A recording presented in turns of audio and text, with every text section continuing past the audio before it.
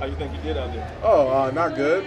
like as expected though. Stick to football. Yeah, the most baseball experience that I have was on nice days in PE class. That's about it. So did as expected.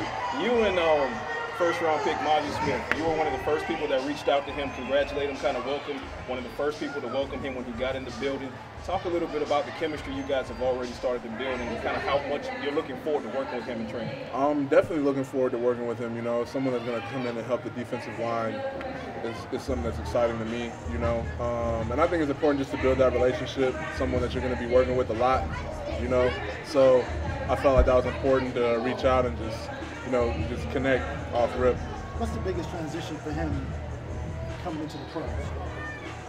I mean, the game the game is a lot faster. You know, there's a lot of things happening just in the blink of an eye right before the snap of the ball. So you got to be able to take in a lot of information and just and just go sometimes. He's a strong man, but I would assume that he's going to really feel the strength and power of other grown.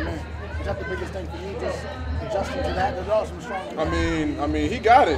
I, I don't think that's going to be an issue at all. You know what I'm saying? I, like he got it, so I feel like I feel like that's not an issue. I think, you know, if anything, it's going to be the speed of games and, and all that. I don't think anything athletically is lacking or going to going to be any growing pains with that. I think he's got what he needs to be successful. You know?